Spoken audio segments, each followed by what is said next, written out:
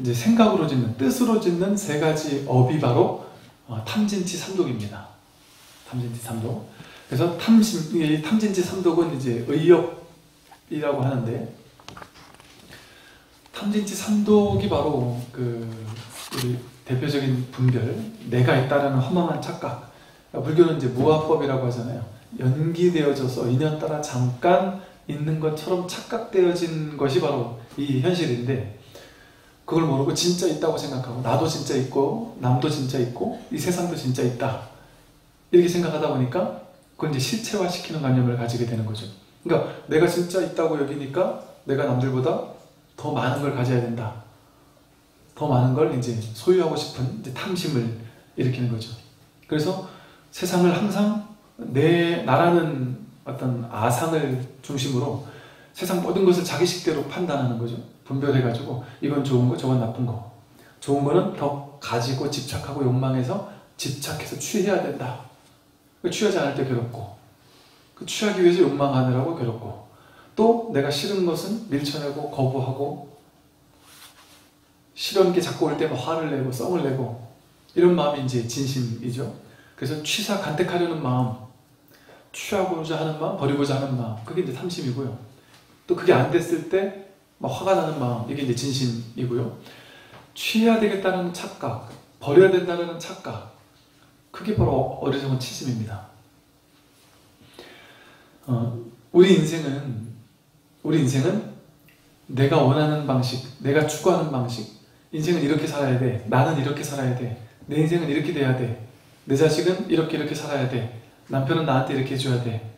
친구들은 나한테 이렇게 이 정도 대우를 해줘야 돼. 정치는 어떻게 정치를 해야 돼. 뭐 이런 무수히 많은, 심지어 내일은 비가 오면 안 돼. 뭐 무수히 많은 내 식대로의 판단을 가지고 내 인생을 취사 간택하면서 사는 게 우리의 삶이잖아요. 내일 어떤 일이 일어날지, 또 어떤 일이 일어나야 나에게 정말 좋은지 알 수 없습니다. 알 수 없어요. 모를 뿐이죠, 사실은. 그리고 어떤 일이 일어날지 실제 알 수 없고. 근데 우리는 생각으로, 의식으로, 분별로서 알 수 있다고 생각해서 내 인생의 미래는 이렇게 돼야 돼. 10년 뒤 내 인생은 이렇게 돼야 돼. 내년에 내 인생은 이렇게 돼야 돼. 남들은 나한테 이렇게 해줘야 돼. 남편은 나한테 좀 더 잘해야 돼. 남편은 반드시 담배를 끊어야 되고 술을 끊어야 돼. 남편은 자꾸 밖으로 돌기보다는 나한테 더 잘해야 돼. 이제 퇴직하고 오면 남편이 집에 와서 자꾸 삼식이가 되면 안 돼. 눈치 되게 보인다 그래서 얘기 하시더라고요. 퇴직하신 분들이. 처음에는 당당하게 받아먹다가 한 1년 지나고 나면 그렇게 마누라 눈치가 보인대요. 그래서 어쩔 수 없이 밖에 나가서 뭔가 딴, 뭔 일이라도 해야 되겠다. 이런 생각이 든다는 얘기를, 어, 저 퇴직하신 분들을 그 서울에 있을 때 워낙 많이 뵀다 보니까 참 안쓰럽더라고요, 한편으로. 평생 이렇게 벌어다 주고, 집도 만들어 주고 했는데, 퇴직하고 나서 눈치 보여가지고 집에서 자꾸 나와서 있다 여기저기 다니다가 이제 저녁 때쯤 내가 저녁 먹고 들어가면 제일 좋아한대요. 목소리 보타가 벌써 다르대요. 자기 몇 시에 들어와? 어, 저녁 먹고 들어갈 거야 이러면은 아주 이게 여러분이 그렇다는 게 아니고요. 그런 분들도 계신다.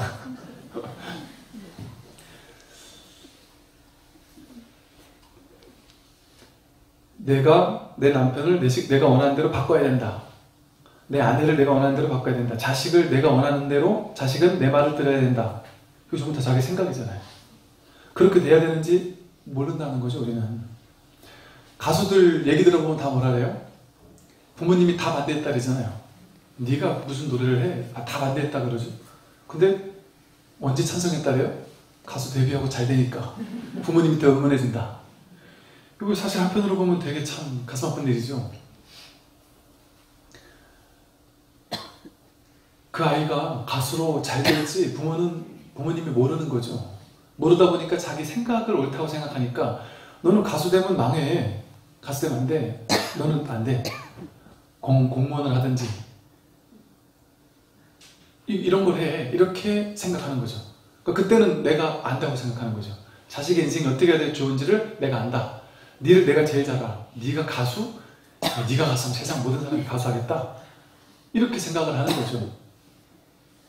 그런데 모르는 거죠. 모르는 거죠. 이처럼 모든 것을 세상의 모든 것을 내가 안다고 생각해서 내 인생은 이래야 돼 저래야 돼라는 모든 생각이 전부 다 자기 분별 망상이에요. 분별심이에요. 의식. 오온에서 색수상행식 할 때 식. 분별하는 마음. 세상을 안다고 착각하는 마음. 내 인생은 이렇게 돼야 된다라는 게 정답이라고 아는 마음. 그걸 식이라고 그러고 그걸 허망한 망상 분별이라 합니다. 그거는 이 머리가 만들어낸 허망한 착각이에요. 이제 요 다음에 이제 다음 시간에 좀 본격적으로 할 건데 요 다음에 이제 12연기가 나와요. 이 12연기가 이게 처음 보면은 되게 이게 좀 안 맞는 것 같아요. 이게 뭐 이런 게 다 있어 싶기도 하고 이게 제 대학 다닐 때 교수님들 설명을 들어도 저분은 알고 얘기를 하나 싶은 게 심지어는 네. 교수님 설명을 들어도 어렵고 불교 책을 찾아서 몇 권을 읽어봐도 이해가 안 되는 거 이게 너무 어려워서 근데 이게 참 공부하면 공부할수록 부처는 진짜 도대체 진짜 천재적인 것 같아요 정말. 이게 이렇게 얘기하면 또 불교는 천재적이라는 표현 자체가. 깨달을 수는 있는데 깨달음을 이렇게 명백하게 이렇게 교리화 시킬 수 있다는 게 어, 이거는 정말 놀라운 일이거든요. 선 어록을 보면 되게 심플해요. 법을 그냥 딱 드러내고 그 법에 대한 얘기만 그냥 순수 심플한 얘기만 해요. 그거로 놀라운 어떤 공덕이 있죠. 그런데 부처님은 어, 정말 그런 얘기도 하지만 이런 식의 어떤 세부적인 교리로서 풀어내는 이, 이 능력이요. 정말 이 세상에 그 어떤 철학자가 이런, 이런 얘기를 할 수 있었을까요? 못해요. 너무 놀랍습니다. 근데 이제 여기도 보면 그런 얘기가 나오거든요. 12연기가 전부 다 이 분별심, 우리는 하나의 분별심의 문제라고 제가 얘기했잖아요. 취사간택심 문제다. 근데 12열 분별심이 세부적으로 나뉘면 12가지 분별심이 일어난다는 거예요. 이게 뭐 삼세양중인가 해서 과거에 이런 일이 있으면 이런 결과가 있고 이런 일이 있으면 저런 결과가 있다. 이런 시간, 뭐 윤회 얘기가 아니에요. 사실은 12연기는. 아니라기보다는 그렇게 해석할 수도 있지만 한편으로는 그렇게 해석할 수도 있지만 언제나 지금 눈앞에 있는 목전에 있는 진실을 가리키는 게 부처님 말씀인데 3세를 걸쳐가지고 뭐 그런 얘기를 할 필요가 뭐가 있어. 지금 눈앞에 있는 내가 일으키는 분별 망상의 종류가 12가지라는 거예요. 나도 모르게 순식간에 12가지 분별 망상이 스르륵 일어나가지고 이 괴로움을 만들어낸다는 거예요. 노사, 오비고네라고 하는 괴로움을 만들어내는 거예요. 내가 태어나는 게 생이 아니고 내가 살면서 분별의식을 가지고 무수히 많은 분별심들을 만들어내는 것 실제 한다는 착각을 만들어내는 것, 집착을 만들어내는 것 집착을, 집착이, 집착의 의식이잖아요. 집착하는 의식을 만들어내서 그게 진짜라고 여겨서 그걸 내 인생에 창조해내는 의, 허망한 의식. 이 12연기가 전부 다 의식이에요. 무명 어리석은 의식이고요. 행, 유의행으로 유의를 조작하려는 의식. 이래야 돼 저래야 돼 하는 막 업을 지으려는 이렇게 살아야 돼 저렇게 살아야 돼라는 걸 맞다라고 착각하는 의식. 식은 분별하는 의식. 명색은 이름과 모양으로 만들어진 모든 대상을 명색이라고 생각한다고 우리는 생각해요. 즉 식의 의식의 대상을 명색이라고 명색이에요. 의식의 대상이 명색이에요. 다음 주 12연기 좀 구체적으로 말씀드릴 건데 너무 어려워서 대충이라도 말씀드리면 좋겠다는 생각하는 거예요.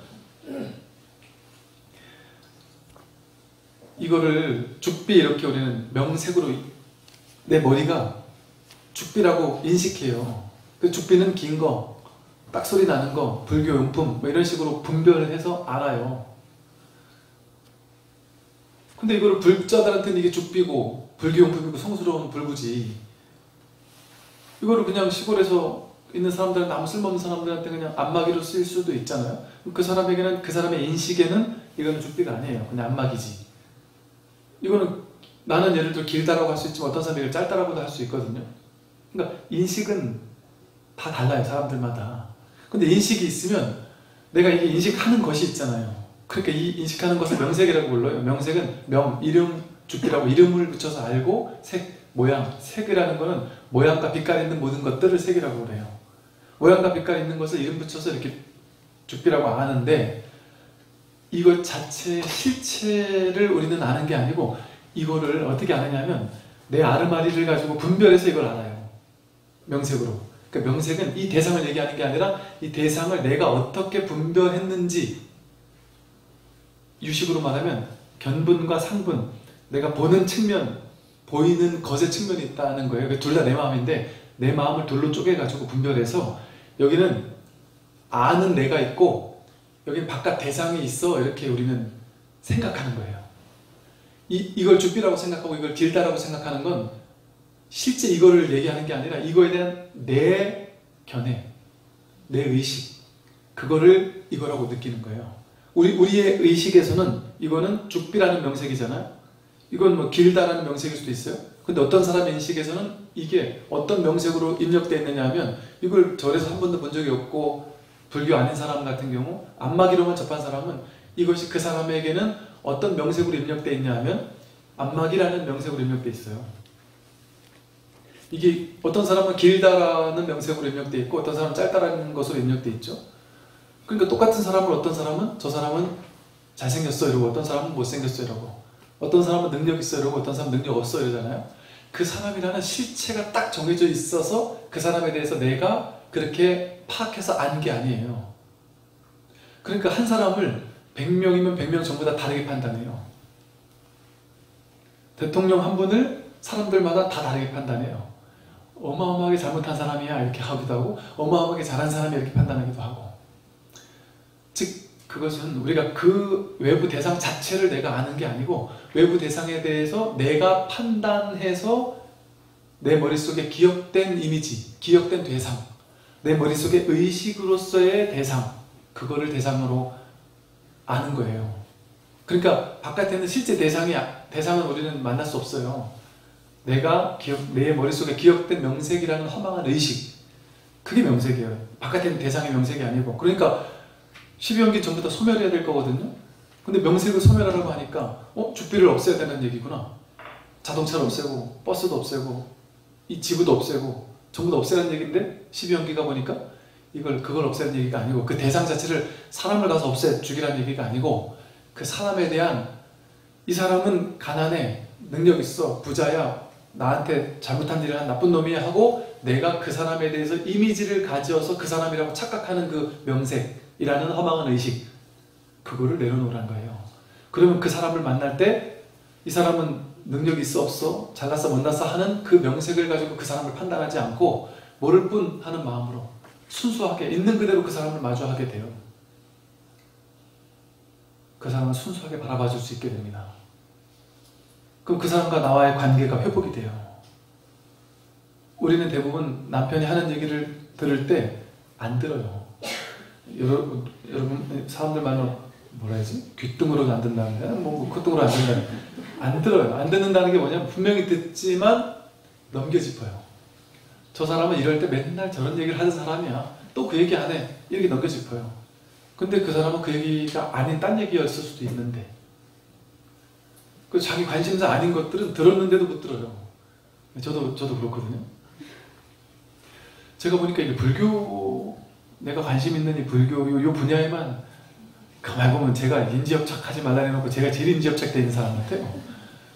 저는 사회 뭐 세상 뭐 이런 거큰 관심이 없고 그냥 불교 이것만 이렇게 알다 보니까 다른 거에 크게 관심이 없어서 다른 얘기를 사람들이 막 하면 제가 이렇게 좀 흥미를 잃는달까? 이렇게 별 관심이 없, 없, 없더라고요 어느 날 보니까.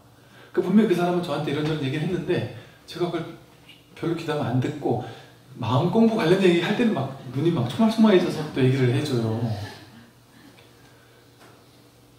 이런 식으로 저도 똑같아요. 모두가 모두가 다 자기 식대로 세상을 판단해서 내가 이렇게 허망한 의식으로 조작해서 만들어내는 거예요. 그러니까 이 우주는 따로 없어요. 내가 만든, 내가 조작한 우주, 내가 조작해낸 명색으로서의 대상만 있는 거예요. 나에게는. 이 세상을 있는 그대로 한 번도 우리를 만나본 적이 없습니다. 내 생각 속에 허망한 분별을 가지고 세상을 만난다고 착각했을 뿐이지. 그러니까 여러분은 여러분 남편을 한 번도 만나본 적이 없어요. 내가 해석한 내 남편만 만나봤지. 그러니까 똑같은 사람이 내가 이 사람 없으면 죽을 것 같이 사랑했던 사람인데 결혼하고 나서 1년도 안 돼가지고 이 사람 쳐다만 봐도 소름 끼치게 싫다라고 바뀌는 경우도 있어요. 젊은 사람들이. 그래서 이혼도 많이 하잖아요. 그럼 그 사람은 옛날에도 그 사람이고 지금도 그 사람이에요. 근데 옛날에는 내 의식이 이 사람을 명색으로 어떻게 기억했느냐면 너무 사랑스럽고 너무 좋아 죽겠고 너무 완벽한 사람이라고 생각했어요. 단점조차 멋있는 사람이라고 생각했어요. 근데 결혼하고 살아보니까 그 단점이 옛날엔 멋있었는데 그 단점이 하나하나 다 보이면서 아주 꼴보기 싫게 싫어지는 거죠. 이 사람은 바뀐 게 없어요. 이 사람 입장에서 억울한 거예요. 옛날이나 나 지금이나 똑같은데 나는 옛날에도 이랬잖아. 근데 그때는 그게 콩깍지가 씌어서 멋있게 보였던 거죠. 근데 지금은 꼴보기 싫은 거죠. 즉 그 사람은 똑같은 사람인데 그 사람을 본 게 아니라 그 사람에 대한 자기 이미지만 보고 사는 거예요. 사실 우리는 그 사람과 결혼하는 게 아니고 그 사람에 대한 자기 이미지와 결혼합니다. 내가 내 생각과 결혼하는 것과 비슷해요. 그러니까 그 사람의 진실에는 가 닿을 수가 없는 거예요. 그 사람에 대한 내 이미지와 살, 결혼해서 살고 있는 거죠. 그러니까 그 이미지가 깨지니까 그 사람이 이런 사람이라는 이미지를 갖고 살았는데 그 이미지가 깨지니까 배신당했어.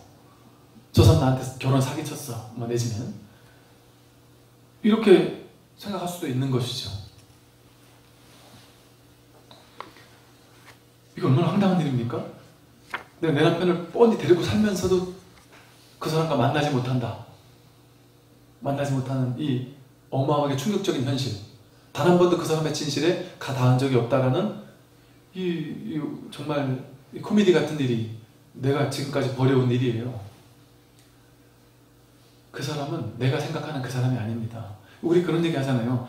이렇게 평소에는 우리 집에 있는 내 아내, 내 남편이 맨날 허름하게 입고 빤스만 입고 왔다 갔다 하고 뭐, 뭐 예를 들어 뭐 맨날 방귀 끼고 뭐 이런 것만 보니까 아, 막 꼴보기 싫거나 아, 이러다가 아, 멋있게 차려입고 뭐 많은 사람들 하는 어떤 모임에 가고 그래서 남편이 막 그 회사에서 막 뭐 잘하고 뭐 언론에 나가고 뭐 예를 들어 잘하는 모습을 딱 보면 야 내 남편 이렇게 멋있는 사람이었어 하고 좋아 보인다는 거죠. 또 드라마 같은 데 보면 결혼해서 살 때는 이제 막, 막 서로 막, 막 죽이려고 하고 막 미워하다가 이혼했는데 이혼했는데 이 사람이 막 딴 사람하고 막 잘 되는 모습을 보면 괜히 괜히 이혼했나 싶고 어, 저 사람이 저렇게 매력이 있었나 싶고 이럴 수도 있다는 거죠.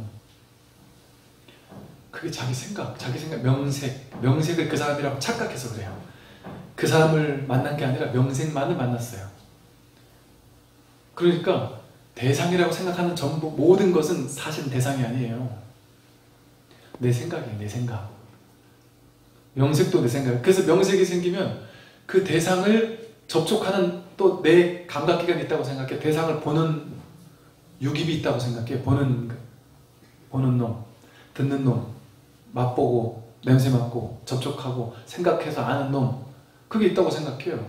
근데 사실은 여기 안에 내가, 유깁이라는 고정된 실체적인 내가 따로 있는 게 아니에요. 그 대상을 만들어 놨고, 그 대상과 의식을 만들어 놨고, 유깁을 만들어 놨어. 이세 가지는 삼사 화합이라고 해서 동시에 일어난다 그래요. 즉, 대상이라고 착각된 남편이라는 이미지를 내가 만들어 놓고, 내가 남편을 만나. 여기 내가 남편을, 만, 남편을 만, 만졌고, 남편을 보고, 남편을 냄새 맡고, 남편을 만지는 내가 있어. 유깁이라는 내가 있어. 그리고 내가 직접 남편을 만나봤더니 남편은 봤을 때 잘생긴 사람이야 라는 안식이 생기죠. 목소리를 들었을 때 목소리 좋은 남자라는 이식이 생겨요. 분별이 생겨요. 이런 식으로 아니비사스의 의식이 생겨 남편에 대한 의식, 식이 만들어져요.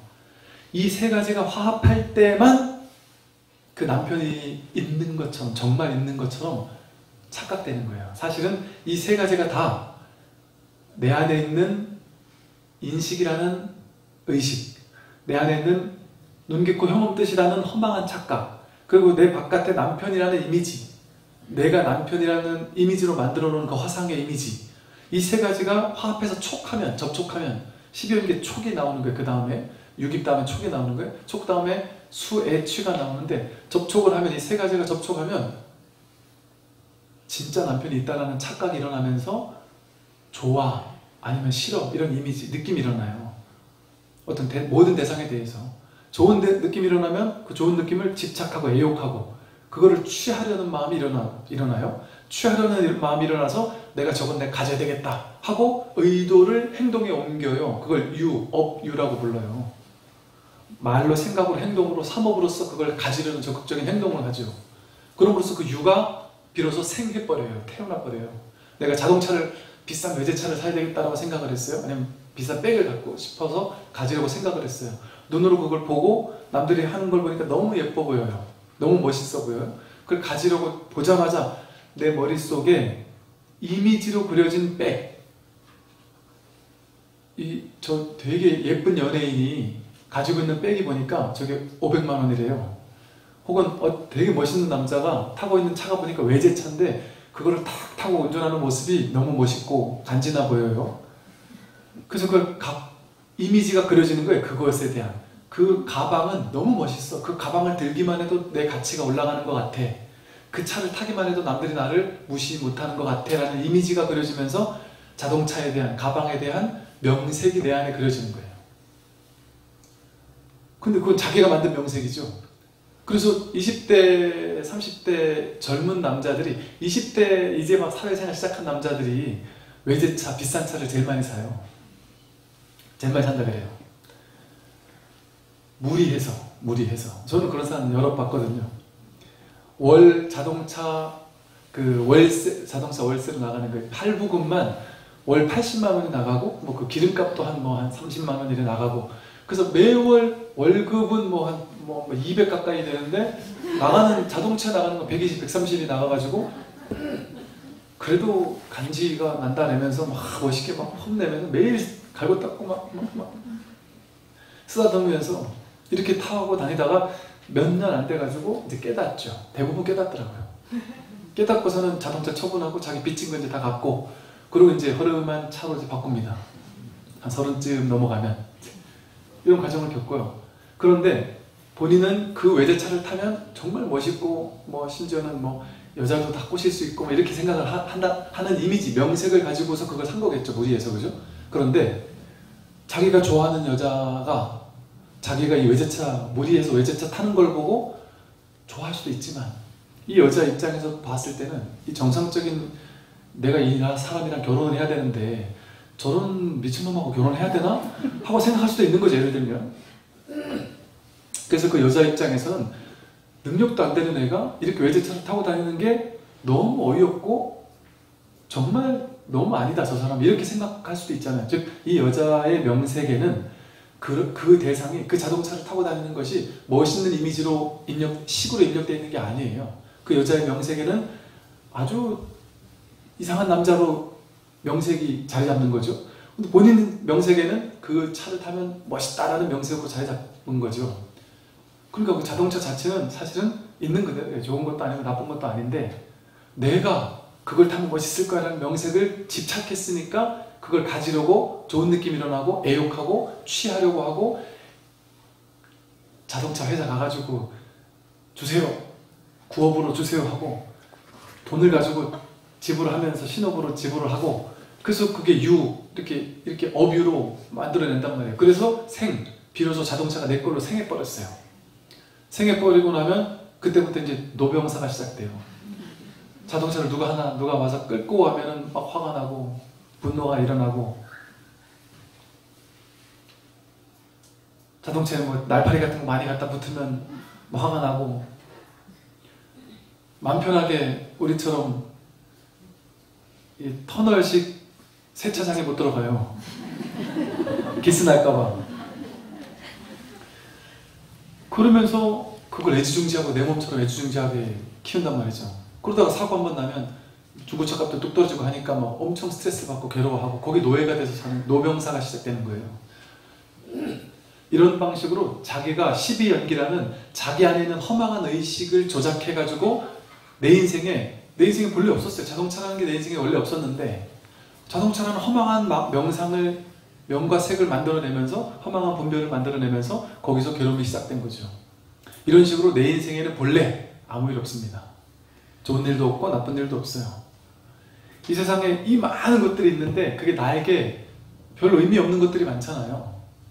그냥 아무것도 아니에요. 아무 의미가 없어요. 이 세상 모든 것들은. 근데 내가 문득 한 생각 일으켜서 문득 한 생각 일으켜서 거기 의미를 부여하기 시작하면 갑자기 그게 내 인생에 탄생을 해버려요. 10연기를 통해서 생해버려요. 그러면서 그걸 통해 노병사가 일어나요. 노병사 오비고뇌라고 하는 괴로움이 연기되는 거예요. 10연기로서. 이와 같은 방식으로 본래 아무 일 없었던 내 인생에 내가 인연을 만들어내가지고 괴로움을 스스로 창조해내는 거예요. 그래 놓고서 뭐라고 하냐면 자기가 만들어 놓고 자기가 만든 괴로움인데 세상 탓을 해요.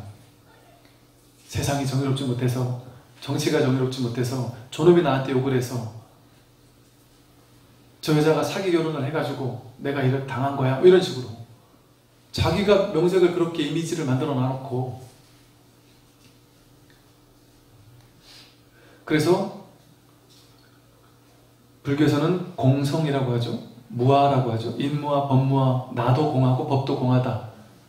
12, 저 12처 18개는 12처가 공하고 18개가 공하다 이러잖아요. 무 안이 비서신의 무색상인 무촉법 무안개 내지 무의식계 여기서 본, 보는 나도 공하고 보이는 것도 공하고 보는 의식도 다 공하다. 실제 하는 것이 아니다. 자기 허망한 의식 속에서 이 우주를 창조해냈다. 자기 우주를. 자기 우주를 자기 식대로 창조해냈어요. 그러니까 이 세상에 내가 알고 있는 이 우주는 누구한테 밖에 없어요? 나밖에 없어요. 그러니까 사람이 좋은 사람인지 나쁜 사람인지 아는 건 하늘 별 따기가 어려운 일이에요. 우리는 사람을 다 판단할 수 있다고 여기지만 실제 이 사람이 정말 좋은 사람인가 나쁜 사람인가를 어, 판단할 수 있을까요? 정말 중요한 역할을 맡겨야 된다고 생각해 보세요. 그 사람한테. 그 사람의 인생을 다 되짚어봐도 그 사람이 진짜 좋은지 나쁜지 알 수 없어요. 알 수 없는 게 맞는 말이거든요. 왜냐하면 우리는 인연 따라 달라져요. 사람은 전부 다.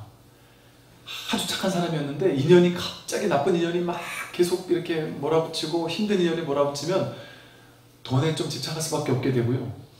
또 여유가 막 넘치게 되면 돈에 좀 여유로울 수밖에 없게 되고요. 좀 이타적이게 되기도 하고 인연 따라 사람은 계속 달라져요. 그래서 고정된 실체라는 게 없습니다.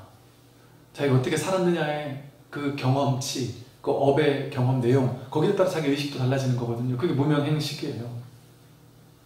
그래서 즉, 즉 무슨 말이냐면 이렇게 12가지 분별 의식이 나에게 만들어지면서 내가 매 순간 그 분별 의식을 만들므로써 내 인생의 괴로움을 매 순간 창조하고 있었어요. 그러면서 지금까지 나이만큼 무수히 많은 세상을 창조해냈어요. 그래 놓고 그 허상 속에서 만들어진 이 세상을, 이 우주를 이건 좋아하니까 집착해야 되고 저건 버려야 되고 이런 머릿속에 게임을 하고 살았던 거예요. 근데 세상은 내 마음대로 됩니까? 세상 전부 다 부자 되고 싶지만 다 부자가 안 돼요. 죽고 싶지 않은데 죽어야 돼요. 늙고 싶지 않은데 늙어야 됩니다. 교통사고 나고 싶지 않아요, 전부 다. 근데 교통사고도 나야 되고요. 이렇게 내 뜻대로 안 되잖아요. 안 되는 게 많잖아요. 근데 물론 내 뜻대로 되는 것도 있어요. 운 좋아서 내 생각과 내 삶이 일치가 되는 것들도 있잖아요. 예상했던 대로 되는 것도 있잖아요. 그러니까 이거 분별 의식은 그렇게 생각 안 하는 거예요. 내가 원하는 대로 됐어. 내가 원하는 대로 안 됐어. 삶은 그러니까 쉽게 말하면 삶은 텅 빈 공성으로서 그냥 인연 따라 아무 일 없이 아무 의미가 없어요. 좋은 것도 아니고 나쁜 것도 아니고 그냥 아무 일 없는 하루하루가 진행되고 있어요. 나는 거기 적절하게 연극을 하면서 적절하게 삶의 놀이를 즐기며 살아가고 있어요. 그런데 자기 스스로 문득 한 생각이 일으켜서 나는 가난해라는 생각이 일어나기 시작하면 갑자기 남들과 비교하면서 내가 뭔가 돈 더 벌지 않으면 안 될 것 같은 불안감이 엄습해 오기 시작하는 이런 허망한 망상구별을 스스로 만드는 거죠. 사실은 이 세상은 이렇게 펼쳐지고 있어요. 어떻게 펼쳐질지는 알 수 없습니다. 다음, 세, 다음 순간 어떻게 될지.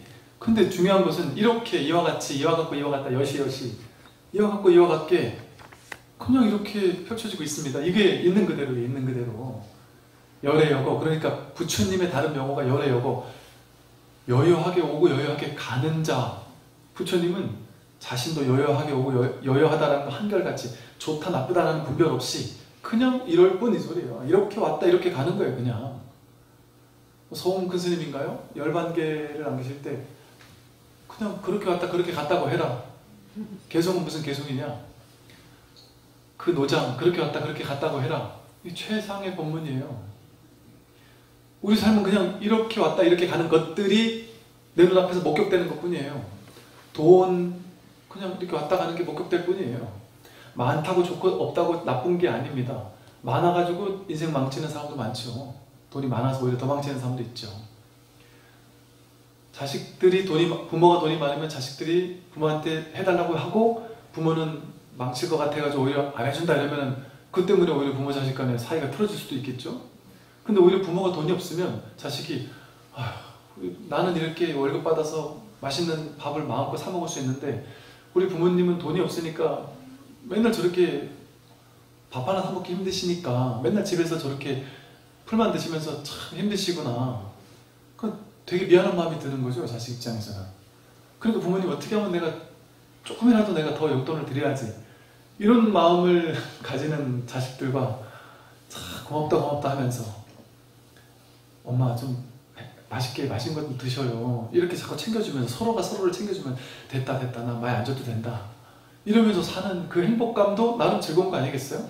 물론 돈이 많아서 자식들에게 좀또 나눠줄 수 있고 이러면서 살 수 있다면 그것도 또 행복한 것이지만 어느 것이 절대적으로 옳다. 그래서 난 반드시 이래야 된다는 데 집착할 필요는 없다는 것이죠. 그래서 삶은 아무 일이 없습니다. 돈도 열의 여거일 뿐이에요. 그냥 있어야 될 만큼 왔다가 있어 갈 때 되면 저절로 가는 거예요. 그냥 그건 그 타이밍은 절묘하게 완벽합니다. 완벽하게 와야 될 때 오고 가야 될 때 갑니다. 여러분은 지금 돈이 얼마 필요한지 아세요?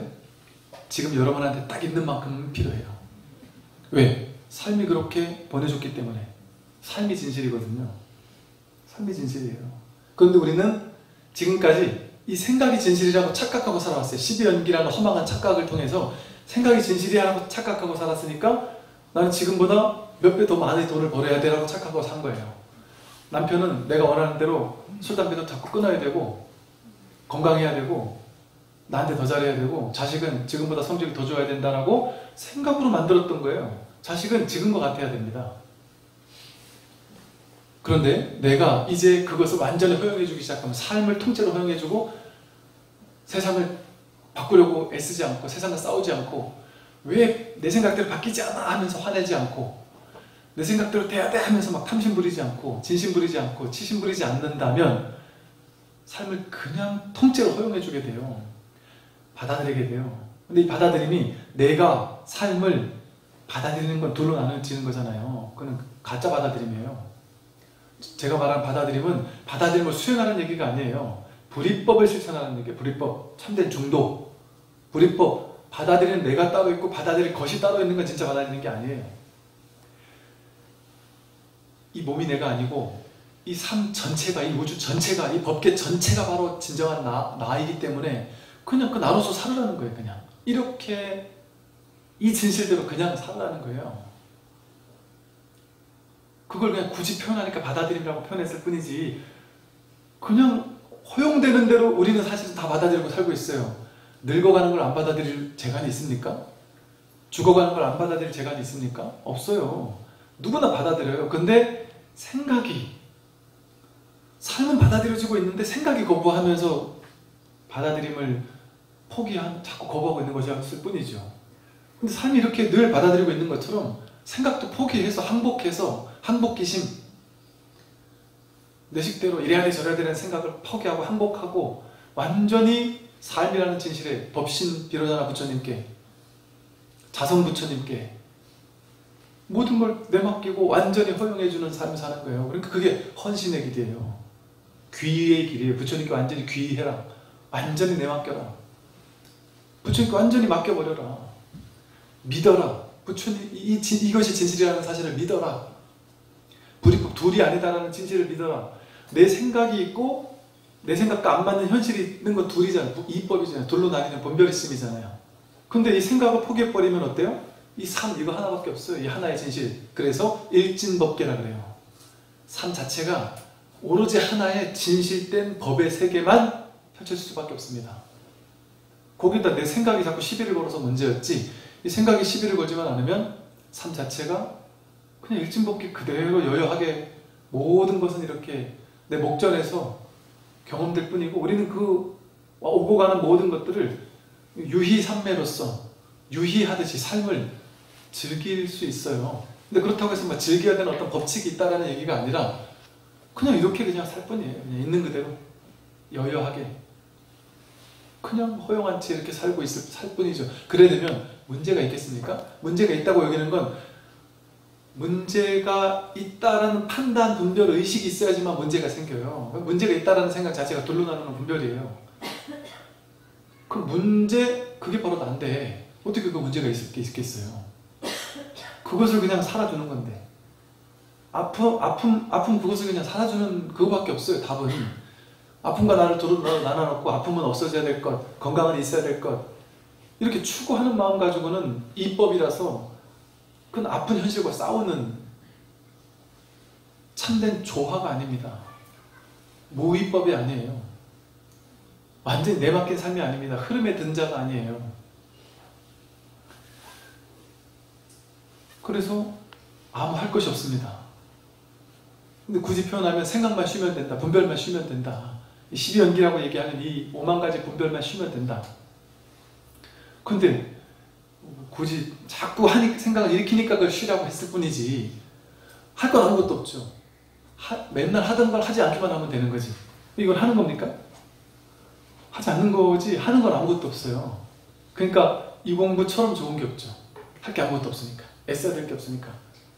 공부할 게 없으니까. 그러니까 옛날 조사 스님들, 큰 스님들 법문을 보면요. 아, 진짜 막, 막, 막 화를 내면서 수행 좀 하지 마라. 수행 좀 하지 마라. 이 칠푼이들아 수행 좀 하지 마라. 이런 식의 얘기를 하세요. 그 얘기가 처음엔 저는 이해를 못했어요. 도대체 뭔 소리를 하시는 거지? 우린 수행을 해야지. 뭔 수행을 하지 말라는 거지? 우리가 허망하게 착각하고 있는 그런 허망한 수행을 하지 말라는 할 게 없다. 할 게 없다는 사실을 자각하면 그냥 아무것도 할 게 없습니다. 이대로 모든 것은 그냥 일어나고 있을 뿐이에요. 근데 이제 이걸 내라는 걸 나라는 아상을 만들어서 내 좋고 나쁜 걸 만들어 놓고 좋은 건 취해야 돼. 라는 탐심. 싫은 건 버려줘야 돼 하고 막 안 버려지면 화가 나는 진심. 이렇게 취사해야 된다는 허망한 망상을 진짜라고 생각하고 진짜 나라고 생각하는 허망한 치심. 그게 의욕으로 짓는 세 가지 악업입니다. 그래서 그것만 일으키지 않으면 이 탐진치 삼독심만 일으키지 않으면 삶은 그냥 이래요 그냥. 괜찮아요. 그래서 이걸 이런 식으로 표현하는 사람들이 있어요 나는 삶이 어떻게 펼쳐질지는 알 수 없다. 그러나 결과적으로 근원에서는 언제나 삶이 좋게 펼쳐지리라고 나는 분명하게 압니다. 이런 식의 표현을 써요.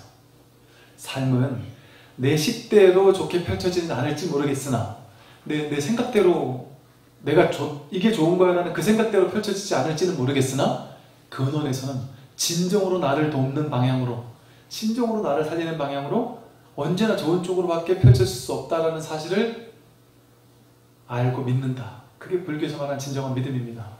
법신 부처님에 대한 믿음이에요. 진정한 나 자신에 대한 믿음이고 내가 본래 부처라는 믿음이고요. 아프리카에서 다 죽어가는 그런 사람에 비하면 우리가 한국에서 아무리 가난하고 아무리 힘들어도 우리는 힘든 게 아니에요. 이 주변 사람들하고 비교하니까 자꾸 힘들지. 그런 비교만 내려놓으면 그냥 아, 이렇게 사는 게 상관없구나. 좋구나. 상관없어요. 좋습니다. 어떻게 되어도 좋습니다. 정말이지 어떻게 되어도 좋아요. 이 일, 저 일, 어떤 일이 일어나도 사실 상관없어요. 이 생각만 방해하지 않으면 정말 상관없어요. 우리는 일을, 어떤 일을 가질 때 일을 생각해요. 힘든 일 누가 시키면 막 짜증스러워요. 또 직장을 취직해야 되는데 좀 힘든 일, 몸으로 막 힘든 일 하면 짜증스러울 거라고 생각해요. 나는 등산 가기 싫은데 주변 사람들이 등산 가자 이러면 막 짜증스러울 수 있어요. 예를 들면. 내 머릿속에서 이건 좋고 저건 싫다는 생각이 있으니까. 그런데 우리가 사실 인생을 살면서 가만히 보면요. 몸으로 막 힘든 일을 하면 괴로워 스트레스 받아 짜증나 이렇게 생각하고 몸으로 편안하게 쉬면 좋아 이렇게 생각하지만 여러분 지금부터 아무것도 하지 않고 집에서 가만히 쉬기만 해보세요. 그게 좋습니까? 그렇게 됩니까? 오미집보등에서 저절로 나가서 운동하게 돼요. 헬스클럽 가서 뛰든지 산행을 하든지 자꾸 운동을 하게 돼요. 힘든 일을 하게 돼요. 찾아서. 즉 어차피 우리 인생은요 힘든 일도 하게 돼 있어요. 근데 괜히 자기 생각으로 이런 일을 하면 안 돼. 힘드니까. 저런 일은 쉬우니까 해도 돼. 자기 생각입니다. 힘든 일을 할 때는 아 운동하니까 좋구나. 힘든 일에 갑자기 취직을 했어요. 그러면 야 나 운동 많이 할 수 있어서 좋구나. 따로 나는 일은 일대로 하고 주말에는 나가서 운동하느라고 힘들었는데 야 일석이조의 직장 취직했네. 몸 운동도 되고 돈도 벌고 주말에는 그냥 푹 쉬어도 되고 내가 좋아하는 TV도 봐도 되고 법문도 들어도 되고 너무 좋은 직장이네? 이렇게 한 생각 돌이키면 그럴 수도 있잖아요. 그러니까 이처럼 자기 생각이 방해하지 않으면 삶은 이렇게 돼도 괜찮고 저렇게 돼도 괜찮아요. 힘든 일을 할 때는 힘든 일을 해서 좋아요. 몸이 건강해져요.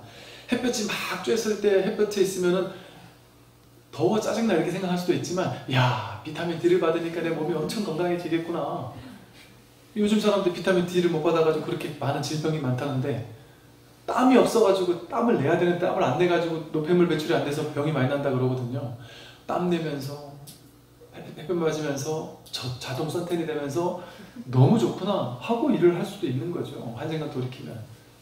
근데 더 좋은 건 그렇게 한 생각 돌이킬 필요가 없이 그냥 오케이 하고 모든 것을 그냥 흡수해서 그냥 그걸 해버리는 거예요. 그냥 그것을. 왜? 그것을 하는 게 나에게 지금 가장 좋은 일이니까.